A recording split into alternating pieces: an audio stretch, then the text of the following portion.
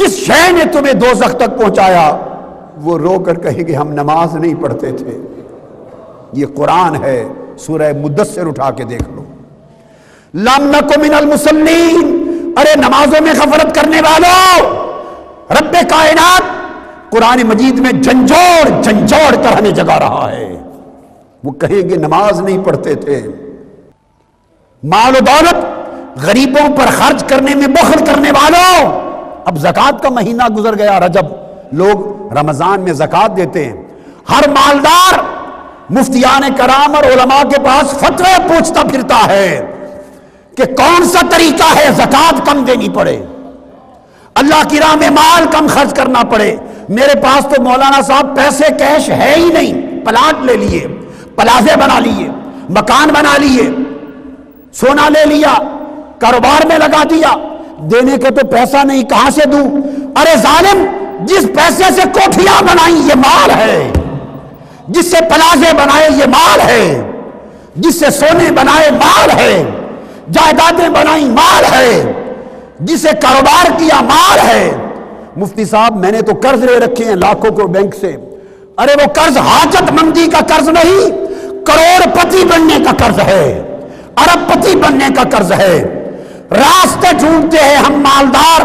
कैसे खुदा की राह में माल निकालने को रोका जाए? गरीबों, मोहताजों, परेशान हालों पर माल खर्च ना हो। यह माल मौत के बाद तुम्हारे काम आने वाला नहीं है। यह अजदा बनाकर तुम्हारे गले में डाला जाएगा, कब्र में डसेगा और कहेगा, मैं तुम्हारा माल हूँ जिसको तू जमा कर करके रखता था।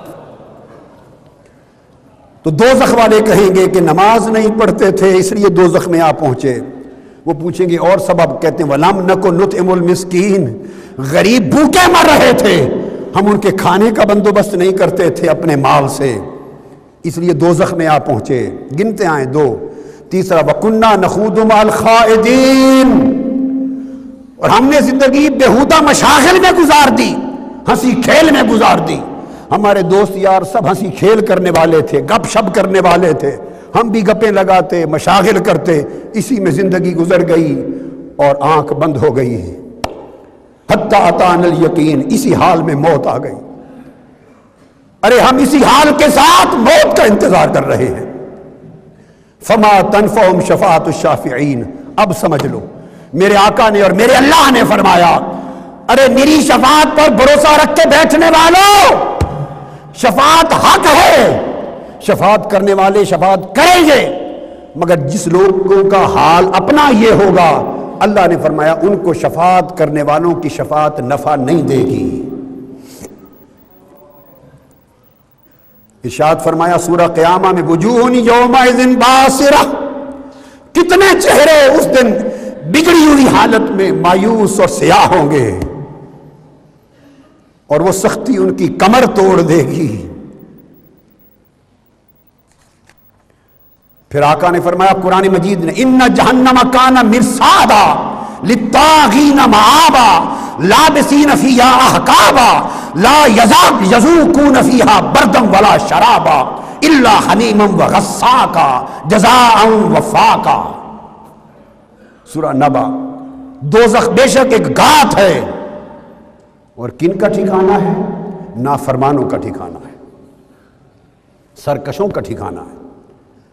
और न खत्म होने वाली पै दर पै मुद्दत है दो की। इसमें न कोई ठंडक होगी, न पीने की चीज़। सिर्फ़ खोलता पानी होगा। और दोस्तियों के जख्मों से बहने वाली पीप पीने को मिलेगी।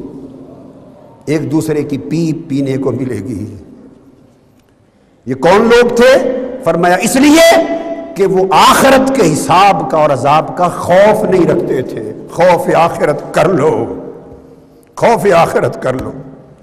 वजूहन योमाजिन अलैहा गबारा, तरहा को हा काटारा फरमाया, बहुत से चेहरे ऐसे होंगे कि उस दिन उन पर गर्द पड़ी होगी और सियाही छाई होगी। वजूहन योमाजिन खाशिया, आमिलतुन नासिबा तसला नारन हामिया उस दिन कितने ही चेहरे जलील खार होंगे। क्यों? कि अल्लाह को भूलकर वो दुनियावी मेहनत करने वाले थे। अल्लाह को भूलकर दुनियावी मेहनत करने वाले थे। और दुनिया के ऐशो आराम की खातिर सख्त मुशक्कतें झीलते थे। सोलह सोलह घंटे काम करते थे। अठारह अठारह घंटे दुनिया के ऐशो आराम की खातिर मुशक्कतें झीलते थे। आखरत के लिए थोड़ी सी तकलीफ़ भी नहीं उठाते थे। फना दहकती हुई आग में जा खिरेंगे और खोलते हुए चश्मे के पानी पिलाए जाएँगे। ये तो होगा उनका हाल जो नाफरमान है और फिर जो फर्मा बरदार बंदे बन जाएँगे। फर्मा बरदार उनको आवाज़ दी, फरमाया सारे ओ इला मगफिरत मिर रब्बिकुम व जन्नतिन वल अर्द। मुत्तकीन। लोगों, दौड़े दौड़े आओ। अल्लाह की मगफरत तुम्हें बुला रही है। जन्नत बुला रही है। जिसकी वसत में ज़मीन और आसमां की सारी कायनात समा जाएगी। और ये जन्नत, ये अल्लाह की मगफरत किन लोगों के लिए है? सुनने, फरमाया, अल्लाजीना युनफिकून फिसर्रा इवद्दर्रा जो छुपे भी और एलानिया भी अपना माल दौलत अल्लाह की राह में खर्च करते हैं। माल दौलत से मोहब्बत नहीं करते, बखीली, कंजूसी नहीं करते। जो माल कमाते हैं, खुदा की राह में अपनी आखिरत की कमाई बनाने के लिए खर्च करते हैं। माल को दुनिया की राहत का सबब ही सिर्फ़ नहीं, सिर्फ़ दुनिया की राहत का सबब नहीं, आखिरत की राहत और कामयाबी का सबब बनाते हैं। वल काजमीन अगर उनसे कोई ज्यादती कर दे, गाली दे दे और गुस्सा आ जाए तो जन्नत और मगफरत उनके लिए है जो गुस्सा पी जाते हैं। हम क्या करते हैं? हम गुस्से से लाल पीले होते हैं और उसी को पी जाते हैं, खा जाते हैं। वलाफीना नास कोई और ज्यादती कर जाए तो सिर्फ़ गुस्सा ही नहीं पीते, माफ़ भी कर देते हैं। सूरा आल इमरान में फिर अल्लाह रब्बुल इज़्ज़त ने फरमाया सूरा ज़ुखरुफ में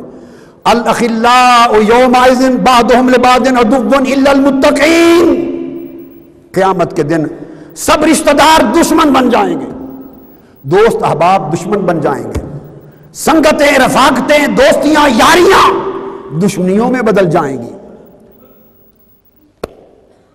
यफिर अलमर ओमिन अखी, हर शख्स अपने भाई को छोड़ के भागेगा। शोहर बीवी से भागेगा, बीवी शोहर से भागेगी। माँ बाप बेटों से जाएँगे, बेटे माँ बाप को दूर भागेंगे। कहीं मुझसे कुछ अमल ना मांग ले उधार। नफसा नफसी का आलम होगा। सब दुश्मन हो जाएँगे। बारी ताला, कोई वहाँ भी दोस्त रहेगा, किसी की दोस्ती वहाँ भी काम आएगी। फरमाया हाँ औलिया मुत्तकीन की दोस्ती काम आएगी।